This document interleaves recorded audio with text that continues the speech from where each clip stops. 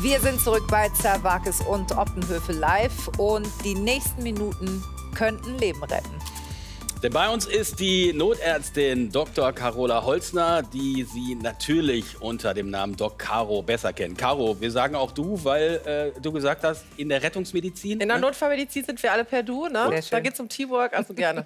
Und wir sind jetzt in dieser Situation. Äh, wir spulen nochmal zurück äh, vor einem Jahr fast. Das war die Europameisterschaft im Sommer. Da ist der Däne Christian Eriksson auf dem Fußballplatz zusammengebrochen. Der wurde dann von seinen Mannschaftskollegen und von Sanitätern gerettet. Am Wochenende hat er ein überragendes Comeback in der dänischen Nationalmannschaft gegeben, hat äh, unter anderem einen tollen Fallrückzieher erzielt. Äh, wenn die Hilfe damals fünf Minuten später gekommen wäre, hätte er heute überhaupt noch Fußball spielen können? Ja, es ist schwierig zu sagen. Also das weiß man natürlich nicht. Man muss aber sagen, bei Christian Eriksen, da sind ja Millionen Menschen an dem Bildschirm auch Zeuge geworden, wie, so, wie schnell sowas passieren kann, dass es jeden treffen kann. Ein Herz-Kreislauf-Stillstand. Er hatte das, er hatte Kammerflimmern. Und er konnte deshalb gerettet werden, weil natürlich Personal vor Ort war, seine Mitspieler beherzt eingegriffen haben, das erkannt haben und so hatte er eine Chance, das Ganze unbeschadet zu überstehen. Und das würde ich mir wünschen, dass viele Menschen so reagieren und so handeln, damit viele Leben gerettet werden können. Wenn wir schon mal dabei sind, so jetzt mal eine konkrete Zahl abzufragen. Wie viele Menschenleben hätten denn gerettet werden können letztes Jahr, wenn wir alle fit wären im, im Erste-Hilfe-Dasein? Ja, man kann das grob abschätzen. Also ich finde, das ist eine sehr eindrucksvolle Zahl. Circa 70.000 Menschen erleiden pro Jahr einen Herz-Kreislauf-Stillstand und nur 10 Prozent davon überleben dies. Und auch nicht so, dass sie vielleicht so sitzen wie wir hier, dass sie alles noch machen können, sondern ähm, ja, vielleicht schwerste Einschränkungen haben. Und es gibt Untersuchungen, die sagen, wenn viele Menschen helfen, in Deutschland haben wir eine relativ schlechte Ersthelferquote, gerade mal 40 Prozent, in 40 Prozent der Fälle helfen die Ersthelfer. Äh, in anderen Ländern sind wir vielleicht schon bei 80 Prozent und da könnten wir so Zehntausende Leben mehr retten. Und dafür mache ich mich stark und finde es gut, dass wir heute darüber sprechen. Ja, absolut. Wie lange dauert es denn überhaupt durchschnittlich, bis ein Rettungswagen vor Ort ist? Ja, das sollte tatsächlich die zwölf Minuten nicht überschreiten. Jetzt mhm. komme ich aus dem Ruhrgebiet. Wir haben ein sehr dichtes Krankenhausnetz, sehr viele Notarzt- äh, und Rettungswagen. Da bin ich in acht Minuten bei der Einsatzstelle. Es gibt aber durchaus ländlichere Regionen oder ich fliege Hubschrauber zum Beispiel in der Eifel. Da brauchen wir etwas länger. Ich muss schon sagen, acht Minuten ist die Wunschvorstellung, ist knapp, aber sicherlich nicht überall zu erreichen. Ähm, Caro, wir haben jetzt mal hier so eine Übersicht. Mhm aufgemalt und äh, beispielhaft an einem Herz-Kreislauf-Stillstand. Was geschieht in den Minuten im Körper eines Menschen, der zusammengebrochen ist, bis der Notarzt da ist? Kannst du das noch mal erklären? Ja, ich finde, man kann das hier eben anhand des Zeitstrahls wunderbar sehen. Also wir haben hier bei Zeitpunkt Null den sogenannten Herz-Kreislauf-Stillstand. Das heißt, dass das Herz in dem Moment aus unterschiedlichen Gründen aufgehört hat zu schlagen. Und das Herz ist die Pumpe unseres Körpers. Das pumpt Blut und somit Sauerstoff in die Organe. Und wenn es stillsteht, passiert Folgendes. Bereits nach 10 bis 20 Sekunden, und hier sieht man auch das Gehirn, was eingezeichnet ist, beginnt das Gehirn sich auf Sparmodus zu stellen und konzentriert sich sozusagen mit dem Restsauerstoff nur noch auf die wichtigen Funktionen, nämlich tatsächlich Reflexe wie beispielsweise die Atmung. Und auch die setzt dann nach 30 bis 60 Sekunden schon aus. Also knapp eine Minute nach dem Herz-Kreislauf-Stillstand ist auch das Atemzentrum betroffen. Der Mensch atmet nicht mehr. Und das größte Problem ist einfach, dass das Gehirn, das sieht man hier nach drei Minuten, das Organ bei uns im Körper ist, was dringend oder am dringendsten Sauerstoff braucht. Denn nach drei Minuten bereits, beim Herz ist es erst nach 20 Minuten, aber beim Kopf eben nach drei Minuten sterben schon die ersten Nervenzellen, die ersten Gehirnzellen ab. Das kann man vielleicht noch retten, aber bereits nach fünf Minuten kommt es zu tatsächlich irreparablen Hirnschäden. Das heißt, die, die Zellen, die nach fünf Minuten schon abgestorben sind, die bekomme ich auch nicht wieder. Und das ist eben eine unserer größten Sorgen, gerade als Rettungsdienst. Selbst wenn wir ähm, zu spät kommen oder wenn wir dann eintreffen und es hat keiner geholfen, dann können wir auch die Hirnschäden, die entstanden sind, nicht mehr wieder gut machen. Und wir sehen ja hier, der Zeitstrahl geht noch weiter. Also wir kommen im besten Fall, haben wir gesagt, Wunschvorstellung nach acht Minuten. Da fehlen genau drei Minuten und da ist schon sehr, sehr viel passiert. Und das kann ich als Notarzt nicht verhindern, aber es gibt eine gute Nachricht. Der Ersthelfer könnte das ähm, und kann das. Das heißt, wenn er eingreift, in dem Moment, wo jemand einen Herz-Kreislauf-Stillstand hat, mhm. dann schafft er genau diese acht Minuten, bis ich eintreffe, zu überbrücken. Und das ist der Ziel oder das ist das Ziel von Erster Hilfe. Und zwar mit einer Herzdruckmassage. Richtig. Es ist, wenn man es einmal gezeigt kriegt und nicht äh, vergisst, was man dann, glaube ich, nie tut, äh, relativ einfach. Es ist anstrengend, wir machen das gleich, aber wenn das alle Menschen beherrschen würden, dann könnten wir sehr, sehr viele Leben retten, richtig? Ja, vor Dingen ist es nicht nur relativ einfach, es ist sogar sehr einfach. Man hat seine beiden Hände dabei, man äh, hat auch die Power, das zu tun. Das können mittlerweile oder bereits schon Kinder in den Schulen, ähm, die das lernen können. Und das kann man machen. Man muss nur wissen, wie. Man muss eigentlich nur wissen, wo man seine beiden Hände aufsetzt. Und du hast das richtig gesagt.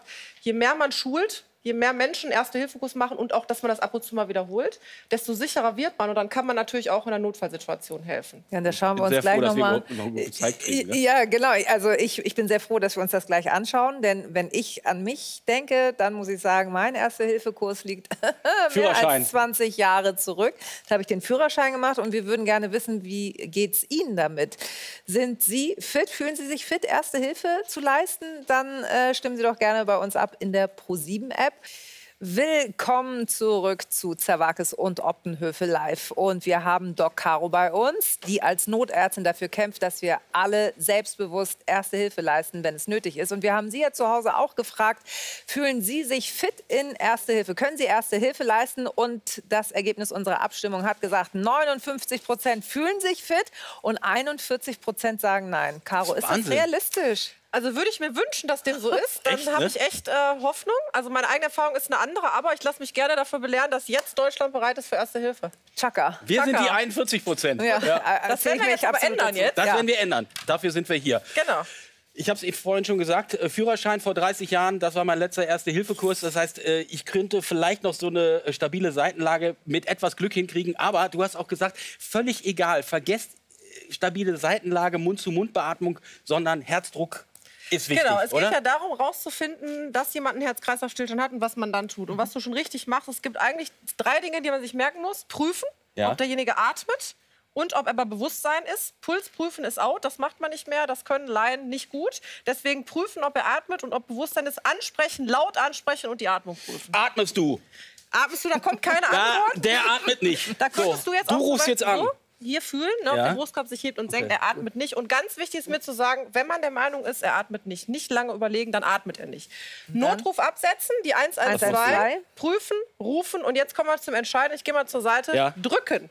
Und mehr bitte nicht machen. Durchdrücken bis Hier drücken, also zwischen, zwischen Brustwarzen ist hier das Brustbein genau, und da dir, ungefähr... Du nimmst dir jetzt den, die, die Linie zwischen den beiden Brustwarzen und drückst auf dem unteren Drittel so. des Brustbeins kräftig, 5 bis 6 Zentimeter, das ist so viel, das ja. ist richtig kräftig und die richtige ähm, Geschwindigkeit. Dazu gibt es ja äh, unter anderem Staying Alive, ist, glaube ich, äh, vom, vom Rhythmus genau richtig. Wir haben das mal vorbereitet, können wir das mal einspielen. Das hat man nicht immer in Notfallsituationen dabei, aber... Nicht nur vom Rhythmus, sondern auch vom Sinn des Liedes gut. Genau, ja. und am besten stellst du dich jetzt noch richtig bequem auf die Höhe von deinen Händen, damit du das kräftig machst, aus den Schultern mit dem gestreckten Arm. Und, und man soll es auch wirklich singen, ne?